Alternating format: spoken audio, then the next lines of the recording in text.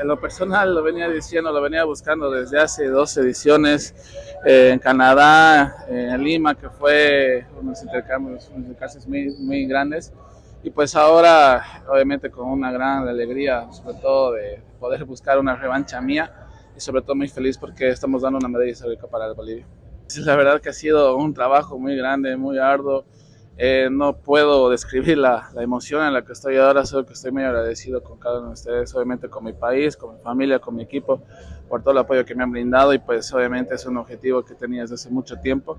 Me ha costado como más de ocho años, incluyendo la pandemia, para poder llegar hasta ahora y pues obviamente feliz y disfrutar de este momento. ¿Qué les digo, Carlos? Siempre ha demostrado un gran nivel, siempre hemos jugado de esa manera descontrolada, es un gran rival, un gran amigo y pues solamente sabía que iba a ser de esa forma y pues sobre todo creo que más allá de todas esas cosas feliz por el resultado y sobre todo porque estamos compartiendo podio.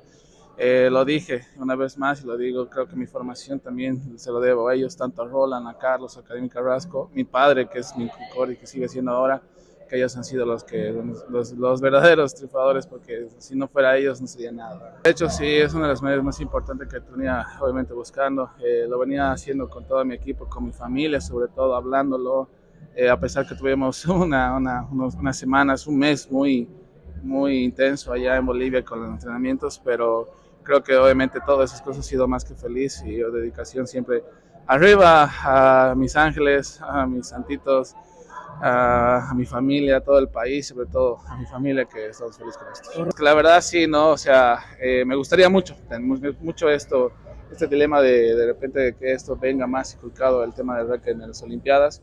Eh, de repente hemos mostrado un nivel, se han estado hecho mejoras incluso para que de repente podamos estar incluidos. Esperemos que se den ¿no? y también tengan un poco de consideración con lo que estamos haciendo y también con lo que vemos.